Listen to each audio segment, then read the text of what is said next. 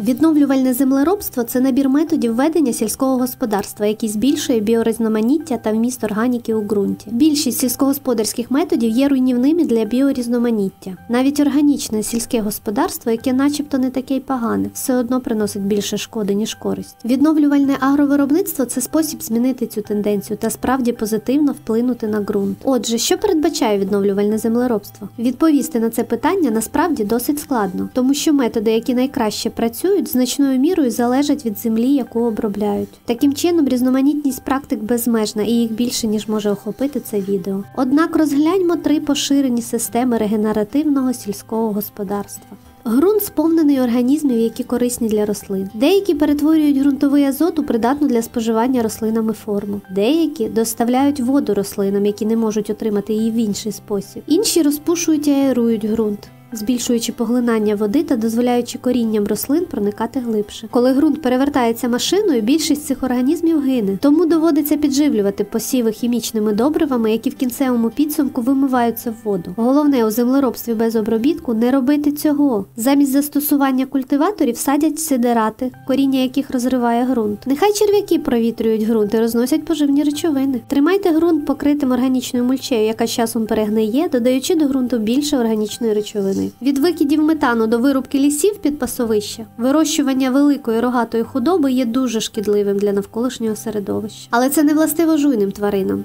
Якщо запровадити правильні методи, величезна кількість вуглецю може потрапити в землю. Грунт можна оздоровити і навіть опустелювання можна зупинити за кілька років. Ось як це відбувається. Трава росте спочатку повільно, потім починає прискорюватись і знов сповільнюється. У цій середній зоні накопичується найбільше біомаси з найбільшою ефективністю. Якщо її з'їсти до того, як вона досягне цієї точки, її зростання ніколи не прискориться. Це те, що відбувається з традиційними пасовищами. Тварини з'їдають всю траву, і вона не має шансу достатньо відрости перш ніж її знову з'їдять. В результаті надмірне випасання худоби призводить до ерозії ґрунту, посухи та опустелювання. Але якщо тварини тримаються щільним стадом, як колись у природі, трава встигає вирости, перш ніж її з'їдять. Вся ця біомаса в траві це вуглець, що береться з повітря. Однак не вся трава з'їдається, частину її затопчуть, що зрештою створить ідеальні умови для нового верхнього шару ґрунту. Все це відбувається неймовірно швидко.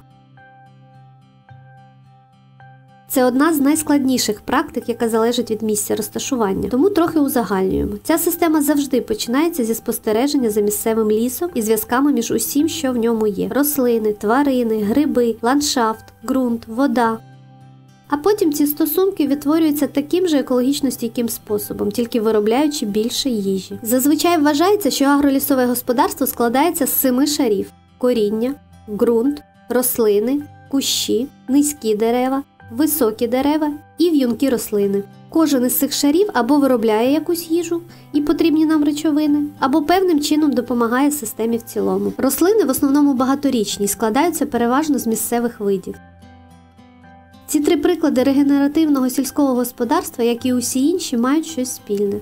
У звичайному сільському господарстві вирощується якомога більше врожай однієї культури. У відновлювальному сільському господарстві створюється більше взаємозв'язків між елементами. І людина один з них. Якому типу відносин з землею ви бажаєте сприяти?